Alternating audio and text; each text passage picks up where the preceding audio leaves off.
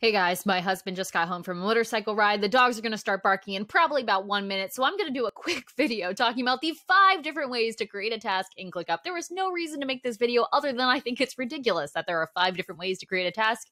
So, in case you were curious or somehow couldn't use one side of your keyboard, I'm going to show you the keyboard one side of your screen, I'm going to show you the five different ways to create a task. Number one, we are going to click down here on the plus or use the keyboard command T and create a new task.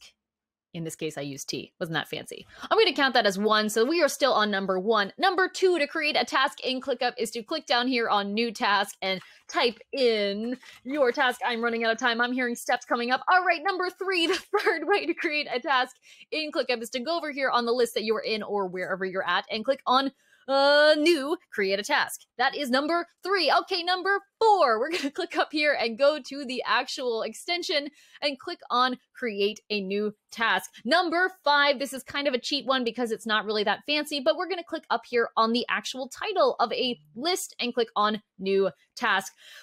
And just for a bonus number five, if you have a form anywhere in your uh, in your business, there is a way to submit that form and create a task from it.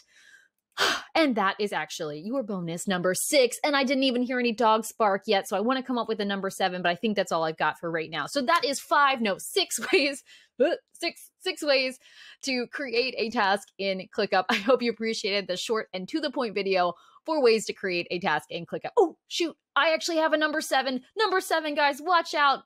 Number seven is email. So you can actually email yourself an email to this specific secret email code, which I'm going to reset as soon as this video is done, to create a task via email. So that is not five, not six, but seven ways to create your uh, tasks in ClickUp. And I didn't even get any barking in this video. So I feel like we're doing pretty well. If you want more videos like this with less of a rush and maybe more dog barking, who knows?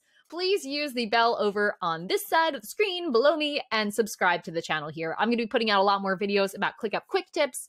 I'll probably do a full walkthrough at one point here, as well as information about tools like G Suite and other software that small businesses need to know in order to make their business more productive using cloud software. I cannot believe I've made it two and a half minutes without barking, so I'm going to stop testing my luck and get off this video. Thank you guys so much for watching, and if you want to hear more about this, make sure you subscribe and leave some comments below so I can engage with you and answer any questions you might have about ClickUp or other fun tools. All right, that's it. Wow, this is really quiet. See you guys.